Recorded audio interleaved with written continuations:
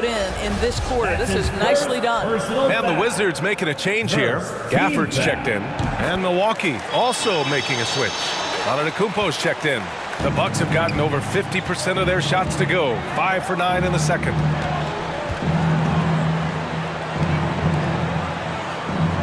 Pass to Reddish. No good there. Nice D from Gafford. Washington has gone two of three from the three-point line in the second. And here's MP from outside. Drops in the three. MP's got 29. And he's